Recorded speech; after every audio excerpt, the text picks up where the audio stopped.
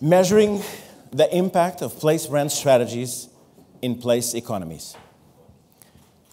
Part two of, I don't know if it was two, but actually maybe three, because we don't have yet all the answers. Spoiler alert, number one. But we have some answers and we have some number, numbers to share. So we don't even know if this is part two of three or even more.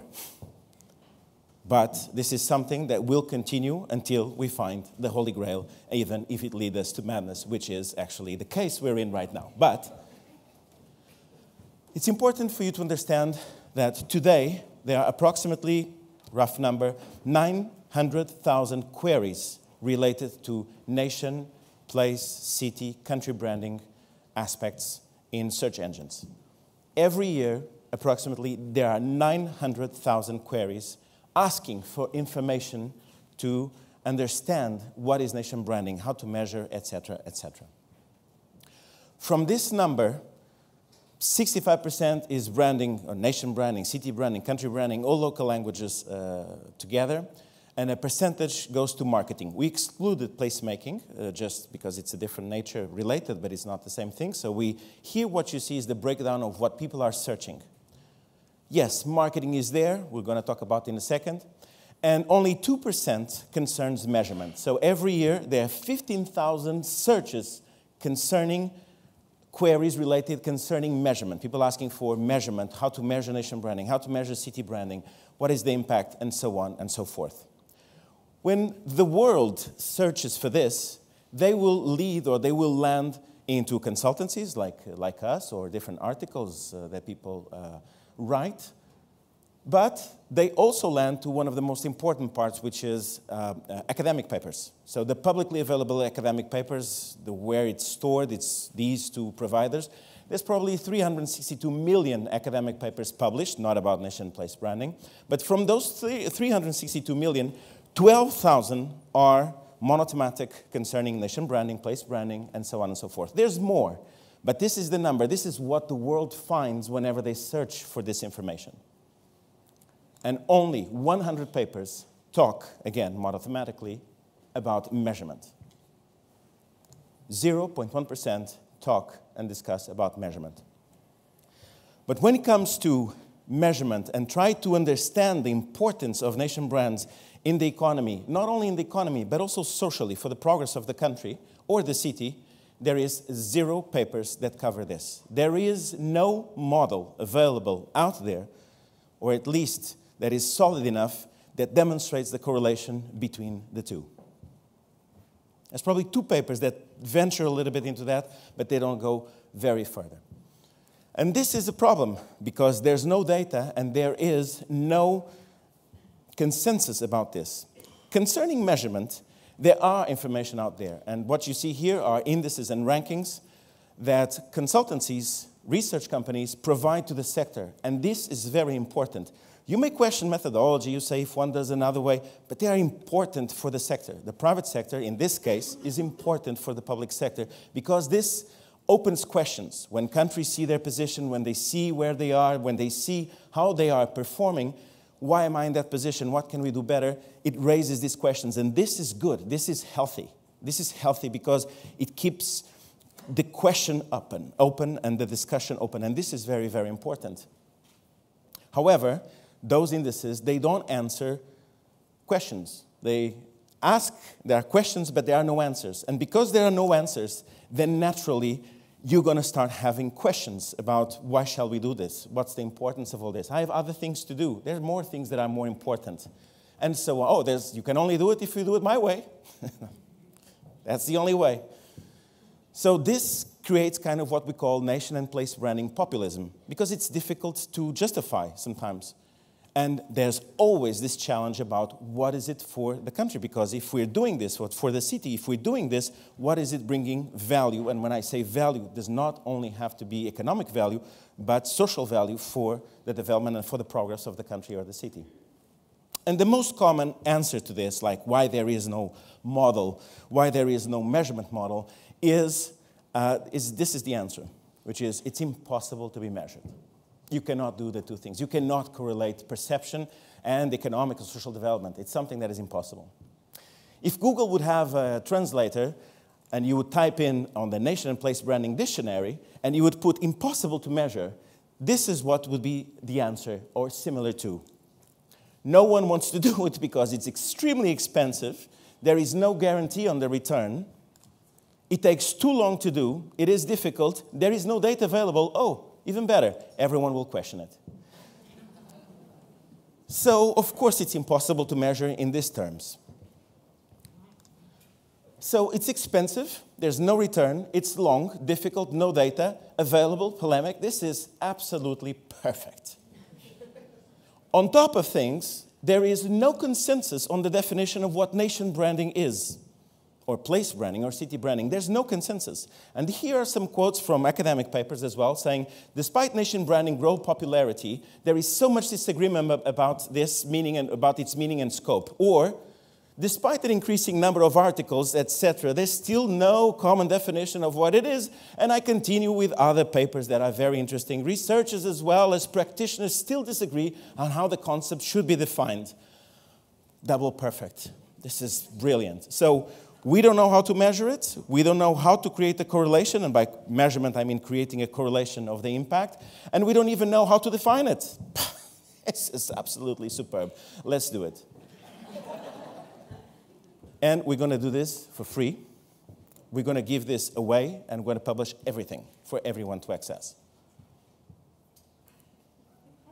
It's true. So we embarked on this. We embarked on this journey, and we decided to go with our own resources, with our own funds, to go on this avenue and to go on this journey. And this presentation is a little bit, it's a twofold. I'll talk about numbers, but I think it's important you understand the journey and understand where we have been and what's the status and the decisions we've made so that you understand when you see the data, what is the data that you're looking uh, into.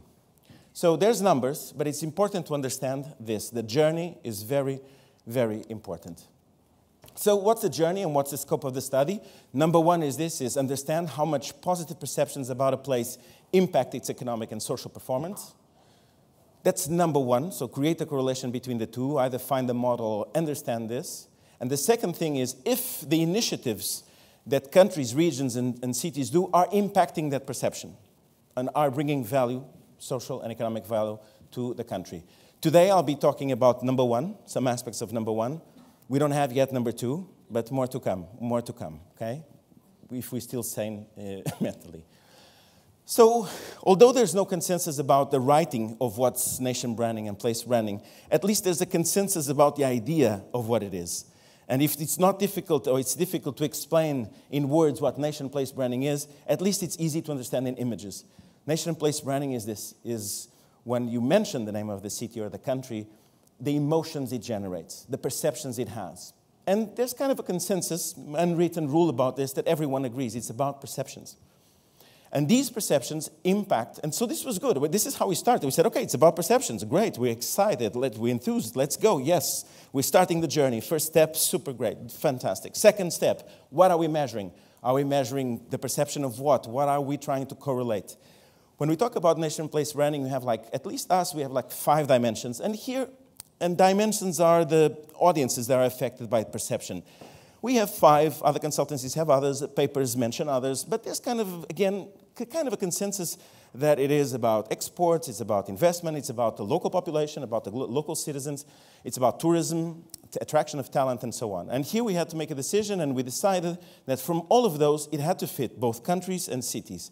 So what we're trying to do is to measure the perception and the impact of perception in the dimensions of attraction of talent, it's common to every city and country, attraction of investment, and attraction of tourism. And when I say attraction, I say the type of tourism does not need necessarily mean more, uh, but it's better. Okay? So, okay, so far so good. We had the three dimensions. It fits the three purposes, which is fantastic. But then we asked, very good, so what are we measuring? What is exactly that we are measuring? It's about perception, but is it a campaign? Is the effectiveness of a campaign on how to attract someone to come? Not necessarily. Actually, this conversation opened, which was nation branding or place branding, is completely different from nation and place marketing. And here, credit to Boisen, he started this conversation, he opened this conversation some time ago, and I think it's very relevant.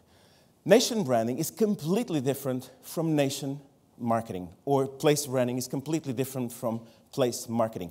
They are two things completely interconnected sometimes, but they are two different things. Nation branding comes first, and place branding as well, and place uh, marketing comes after. The first one, it's about perception. It, you build perception through actions, activities, and policies.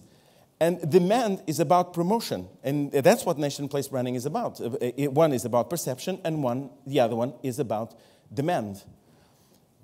This manages emotion, reputation, perception, and this is about lead generation and transaction. And when I present this to countries and cities, they say, I, I want this. This is the thing that matters the most. Incorrect answer, because better perception leads to better demand. And I purposely use the word better demand, not necessarily more demand. And we had some very interesting sessions today, which is maybe it's not more that you want, but better, or different types of audiences that you want to attract to the place and how you want to do that for, for the country. So, the focus of the study clearly was not about the conversion, it was not about the demand. It was about how this impacts that in the end and other things. So, the focus was about perception. Okay, so far so good.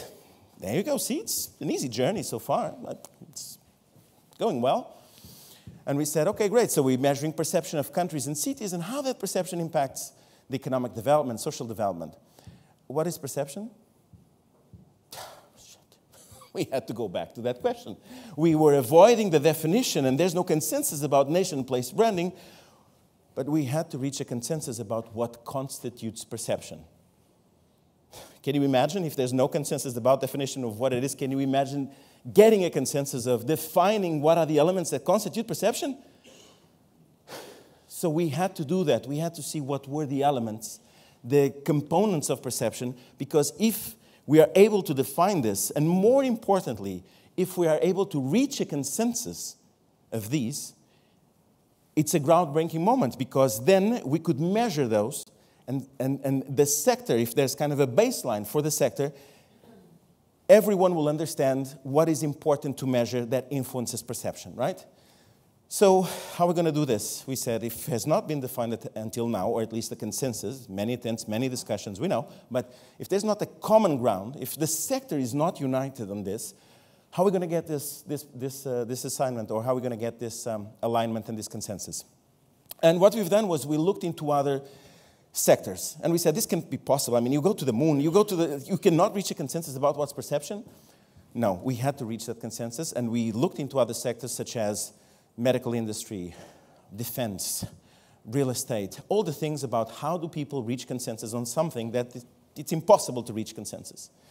So we understood that there's a method that is called the MCDA, the multi-criteria decision analysis, which basically is a panel and it's proved academically, used all over the world. Many cities and countries apply this for other things, and we replicated this for nation place branding, which is how to reach consensus about what constitutes perception.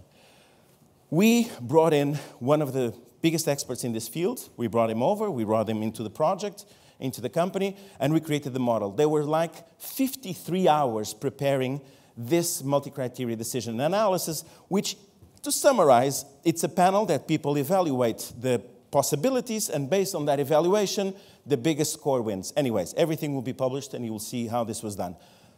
But we got it. We got it. And this is, we got the, we got the, the, the, the, the, the model in place. Again, 53 hours spent just developing this. And here we go, fantastic, let's do it. And the multi-criteria decision analysis expert said, let's do it. Okay, fantastic. So what's next? I said, well, you have to reach the experts about this. And I said, fantastic, let's reach the experts. And he said, who are the experts? And he said, you tell me. And I said, no, you tell me. He said, no, you tell me. I'm the expert. and he goes like, no, you have to find a good enough number of experts that you need to ask. And preferably not the consultants, but people that deal with this on an everyday basis. So you have to contact a big number of countries, regions, and cities to answer this. And this is when a little devil popped up in my brain. Said, Jose, just let this go. Just, this is, this for some reason that no one has ever done this. It's like, just, you tried, right? Bloom, you tried. The team tried. Oh, everything is fine. And said, no, look, this will not solve the problem. So this is when we decided to call the cavalry. And this is when we contacted City Nation Place and say, who can help us on this? Who can take us into the next step? And we called City Nation Place and we explained the project. And they said, yes, we're crazy enough to do it with you. Let's do it. With one condition, this is not a commercial project. There's no association with this. We are independent, and this is really just because it's for the good of the sector. And we said, fantastic. On top of that, we decided to bring academia. So we have researchers from two universities. These two universities here, it's not the universities, it's the researchers from these two universities, to go with us on the journey to see if everything is valid from an academic, or at least as valid as possible from academic point of view. Because if we don't get this, then it's difficult for you to then justify this and use this in your day to day work. And of course, who was missing? The countries, regions, and cities. So we had to contact with City Nation Place all over the world, the experts, which are you, to validate what constitutes perception so that later on we could measure that. So we did it. So we contacted, what you see here is 48 countries, regions, uh, regions and cities. Thank you so much. Many of you are here, and all of this is sounding familiar to you. This is not over yet. That's the bad news. Uh, the good news is we'll continue to talk.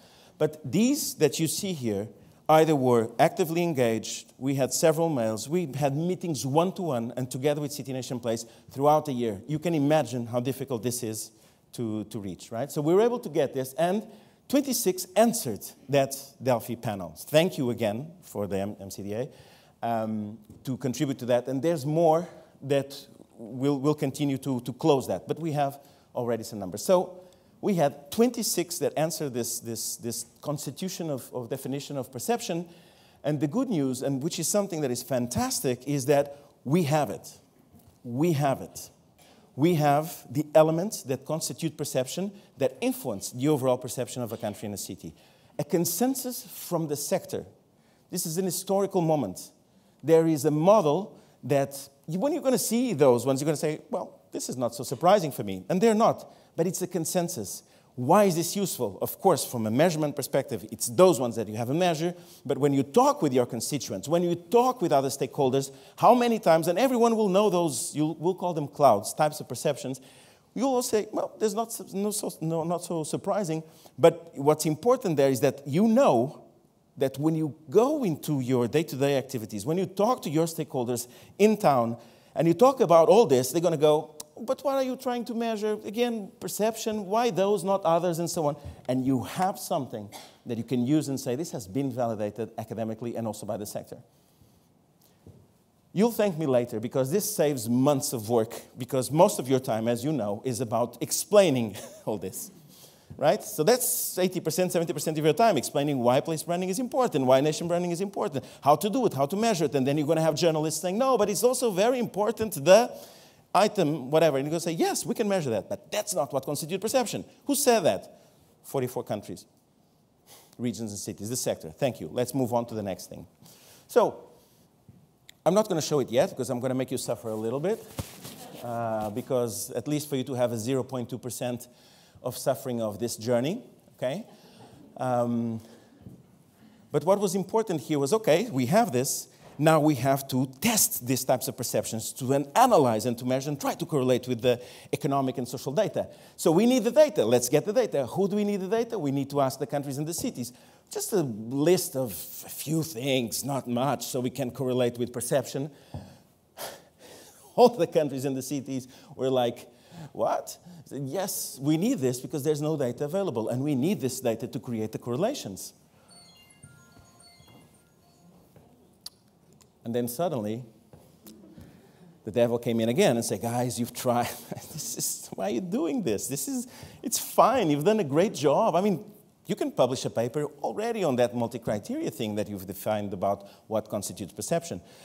And we said, No. So again, we contacted the countries, regions, and cities. Thank you. Thank you. They contributed with data. These are the ones. Thank you. Thank you. You've prepared all this. You spent time on all this. You've sent this not in vain. and we are using this to correlate with the other things. So, finally, finally, I'm going to talk about the numbers. Thank you for accompanying me on the journey on the 0.2%. I hope it was not too painful, or at least I hope it was, so it feel a little bit. But I'm going to talk about, as I mentioned, objective number one. which is, and the things I'm going to present here is what constitutes perception. So I'm going to talk about the elements that compromise or influence the overall perception, the themes that are more important and that influence the perception of countries, regions, and cities, and that leads to that demand. The second thing is a number about the impact of perception on the willingness. How much perception influences the transactional part? By transactional is a physical thing, does not necessarily mean economic, but we're going to look into the economic part. There's other ways to do this. For instance, you can do this on perception, and I saw one of the presentations before has about on, um, on influence. But this is different, is we want to understand how much, how much in numbers. I want the number in percentage, how much does impact potentially the economy, right? And then initial correlations between those clouds and how those clouds influence the overall perception, right? And that's, or the correlation between the two. So here we go.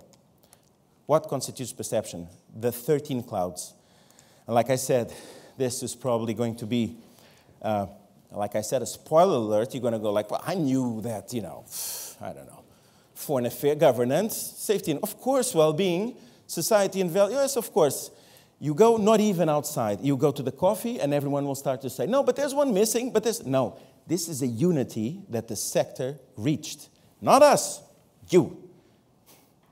Okay, again, you'll have all this to, to work on. But how much the perception of these clouds influences the overall perception is the next thing to do. So we want to know, for instance, if you have a perception of culture, heritage, and art very high but low society and values if this compromises the overall perception or not. So I'm already advancing a little bit on the next steps, and that's we're not talking about this today because we don't have this yet.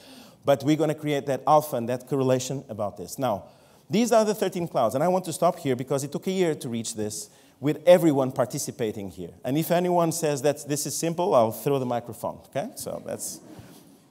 But these are the 13 clouds. We're still adjusting and going through another round just to close this up Okay? But uh, in principle, these is the final ones that you validated. Now let's go to the other topic. The impact of perception on willingness. The tangible side. What are we doing? We're measuring perception from very negative to very positive. How much does influence the transaction? Transaction. And transaction can be go there, visit, live. This study has all these countries. This is data from, from us from from perception from global audiences about countries and cities. Not all are here marked, but all the ones that were involved in the study will be here. We're still work in progress and feeding this, uh, this deck, but it's important. All of you that participated in the study will be measured here, but we have also to include others to, to create the analysis. Now, what's really interesting to see is that there is a linear correlation, very, very linear correlation, that the better the perception, the higher the value in terms of transaction. And this is percentage. So it means that you have an edge of 20, 30% facing other countries or other cities if you have a better perception than the other. And what we're going to do next is to correlate this with the economic side and the talent attraction side and the tourism side to see exactly that. Now, what's interesting about all this is that you start to see how much a decimal, 0.1, is important on the willingness to. So if you increase, and this is a global average, and then you'll see I'll show here by continent, it changes by continent, and if you do this by market, it also changes. But on and all, on an average, again, still work in progress, there's a 3.3% increase in one decimal. So what we're saying is if you increase um, uh, one point, one point, 1.0, from 2.5 to 3.5, you have a 33% higher chance or higher transaction thanks to perception. Again, this changes by continent. So you have a 4%, uh, 4% a 3%, 2%, 2% 3%, 3.6% in one decimal increase. Half a point, 0.5, if you don't want to say, it, but you go from 3 to 3.5, you have 20% increase on the economic development of, of the country, the region, or the city. This is applicable for the two. What's fascinating in all this is the R. You see this R, for the ones that don't know, the closer to one, the more bulletproof it is, the more um, uh, uh, mathematically proven uh, it is. And we also see a variation, for instance, from it, it changes the perception if you're talking about the willingness to visit the place, to invest or do business, or to work and live, you see that the most important one is definitely talent. The perception people have about the city, about the country, is very, very important for the talent dimension and for the attraction uh, di- dimension. Then it's tourism and then it's talent. This is a couple decimals more. Now, moving to the, next, to the last slide. Initial correlation between clouds and general perception. Here, I just want to show you two, two images, and then we can move because I'm 35 seconds ahead or late. Um, the second objective we're doing here, or the third objective we're doing here, is like I said, this is an example of a city. The perception, how this perception changes here. Like if you move five decimals on the products and services or in sports, as an example, does it has an effect at all in the overall perception or not? And what we're going to do is to create a model that you're able to correlate this, and automatically you change it and you see immediately how that perception is going to take uh, there. Now, we do know that this constitutes perception, and it matters. Look at the difference between country one and country two. So you see, country two has a better perception because these clouds, as I mentioned, have a better perception than country number one. Okay, so the objective with all this is to keep on working and on this. So this was more of a, a sharing the process about this. We're going to talk a little bit about the next steps. Um, but what we want is to give to the sector a model that you can use, a model that you can justify to your partners, to your stakeholders, so that they understand the importance of perception and then ultimately on, if you want, on the marketing, which is one of the things that also uh, impacts. That's it. Thank you very much.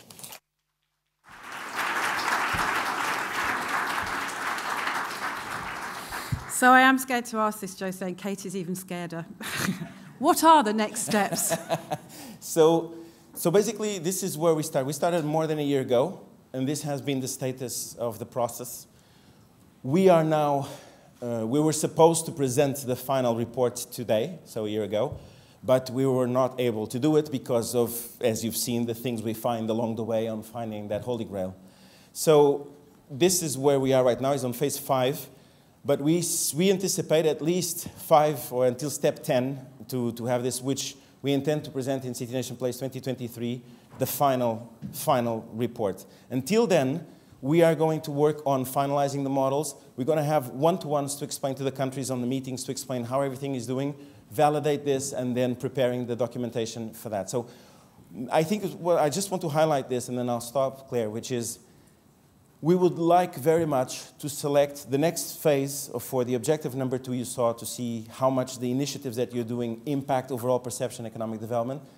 We need a few countries and cities that are able to go into the next step with us on the data analysis so we really understand what they're doing so that then we correlate with the other data. That's how we're going to do from a methodological point of view. We can talk about this after in the coffee break, but we need some more volunteers for the cause.